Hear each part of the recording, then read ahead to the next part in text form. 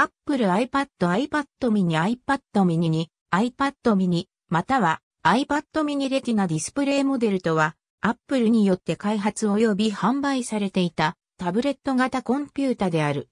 2014年10月16日に発表された後継機種 iPad mini 3の発表後は iPad mini 2と表記が変更された。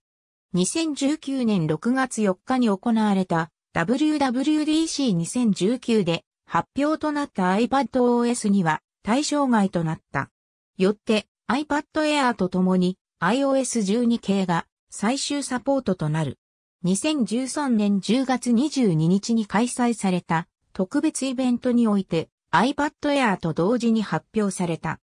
レティナディスプレイに対応し、SOC は iPad Air や iPhone 5S と同じ Apple A7 とコプロセッサとして Apple M7 が搭載され、CPU が最大4倍、GPU が最大8倍高速化した。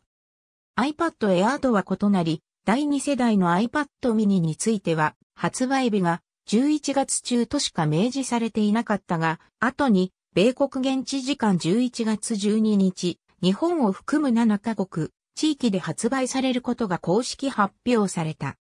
ただし、中国発売分は Wi-Fi モデルのみとされている。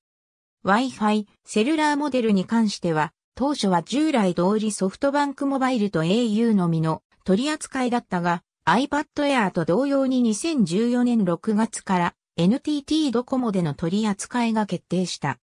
後継機種 iPad mini 3の発表後も継続販売されるが、名称が iPad mini 2に変更となった。また、ストレージ容量が16、32GB の2種類のみに整理された。iPad mini 4が発売され、iPad mini 3が終売した2015年9月に価格が引き下げられている。2017年3月21日、販売を終了した。iPad シリーズでは、当モデルのみ、アルミ削り出しのホームボタンが採用されている。そのため、ホームボタンが本体からごくわずかに突き出たものとなっている。ありがとうございます。